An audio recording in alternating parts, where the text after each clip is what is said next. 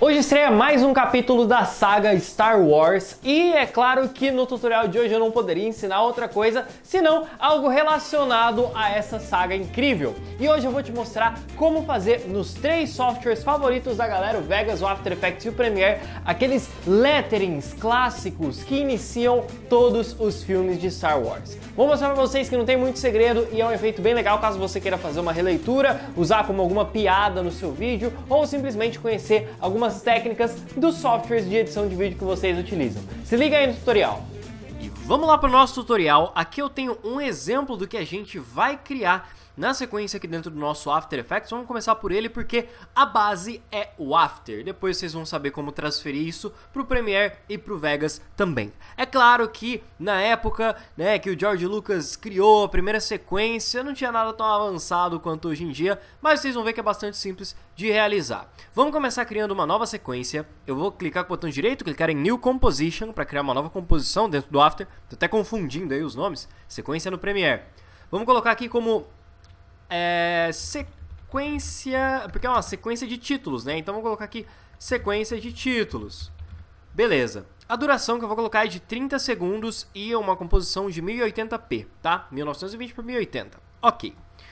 Agora o que a gente vai fazer é o seguinte, vamos começar pelo background, que o background já está pronto, né? Você só precisa de um JPEG com umas estrelinhas, tipo isso daqui que eu tenho aqui, tá? Vou até aumentar o tamanho dele para deixar ele do tamanhozinho aqui da nossa composição. Agora, o que, que a gente vai fazer? Vamos pegar a ferramenta de texto e agora eu preciso que você já tenha digitado o seu texto aí no seu, sei lá, no bloco de notas, no seu Word, eu já tenha na cabeça o que, que você quer colocar na sua sequência de abertura. Porque aí eu vou desenhar um retângulo aqui na minha tela, dessa forma aqui, e eu vou simplesmente dar Ctrl V no meu texto. E aí, tá aí o meu texto. Vou diminuir o tamanho dele para fazer ele ficar certinho aqui na minha tela. Beleza. A fonte oficial que uh, é utilizada no filme do Star Wars é a fonte NewsGoth, ok? Mas se você não tiver essa fonte no seu computador, não tem problema. Você pode usar a fonte Franklin Gott, que é essa daqui, ó. Você pode pegar tipo Franklin, Franklin Demi. E aí deixa eu tirar esse bold aqui. E ela vai funcionar legal também. E a cor, para quem quer saber, é essa daqui, ó, com esse código F2EA7D ok? Essa que eu estou utilizando. Se você quiser, você pode pegar outra cor aí, mais próxima do laranja, enfim, fica a seu critério, tá? E aí nós teremos esse texto aqui. O que a gente precisa fazer agora é bastante simples. Primeiro, vamos ativar o 3D da nossa camada, clicando nesse cubinho aqui.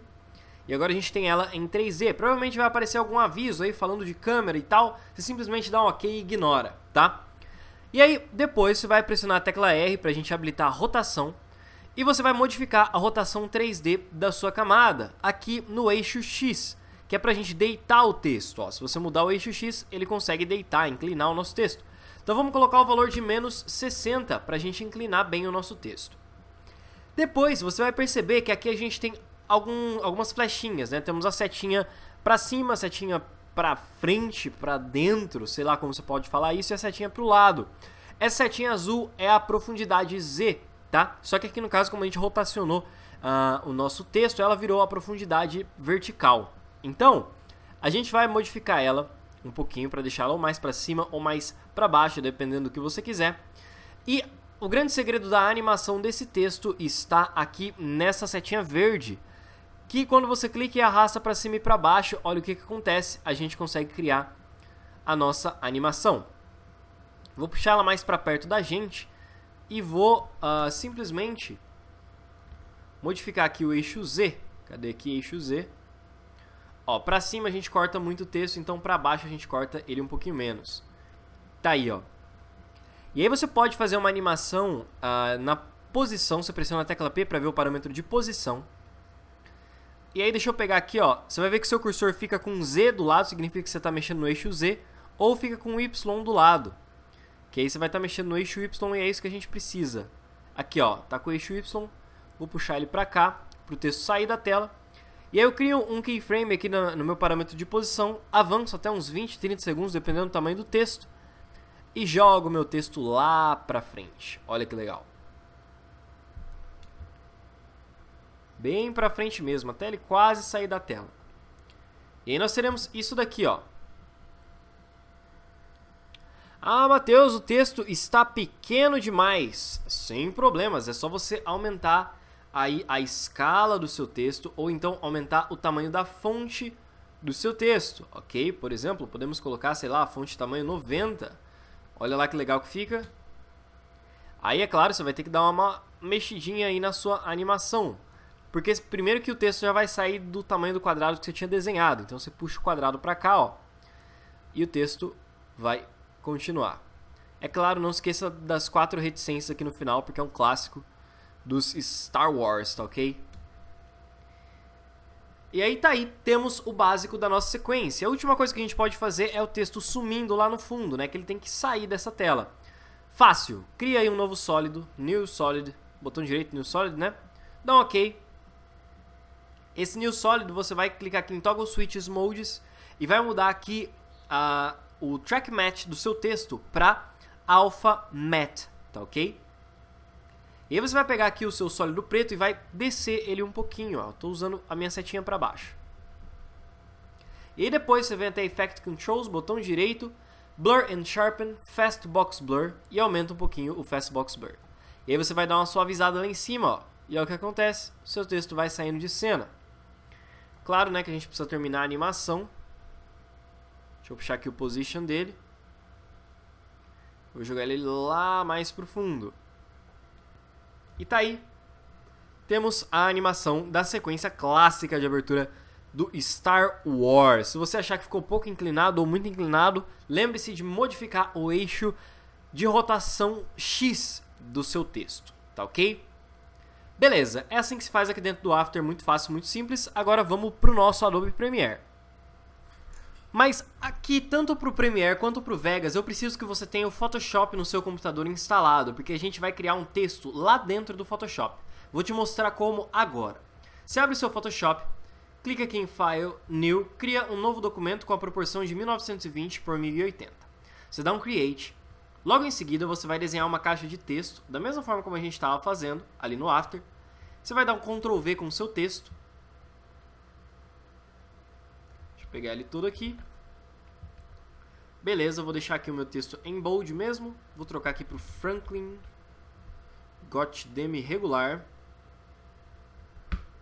E aí o que, que você vai fazer para o seu texto aparecer dentro da, da sua tela? Você não vai ter que colocar ele exatamente dentro dessa proporção. Primeiro, você vai tirar... Deixa eu tirar esses enter que tem aqui, ó. Tem uns parágrafos muito grandes.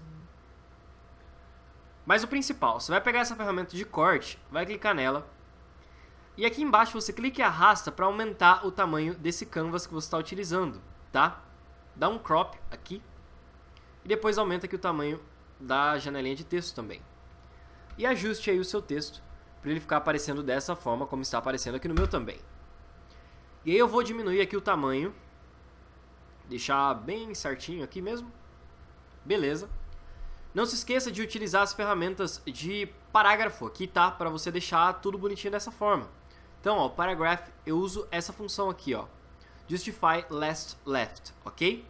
Isso no After Effects também, tá? Que no After, ó, você pode selecionar o seu texto. E aqui em Paragraph você muda para Justify last left, ok? Beleza. E aí nós temos isso daqui, você vai tirar esse background, desliga ele aqui e salve como um PNG. Eu já tenho ele salvo aqui em PNG, salva aí o texto.png. E aí que dentro do Premiere você vai criar uma nova composição, uma nova sequência, né, no caso, que agora a gente está dentro do Premiere. Você vai criar essa nova sequência com o tamanho de 1920 por 1080 e você vai importar o seu texto para cá, texto.png. Deixa ele aí com a duração de mais ou menos 30 segundos.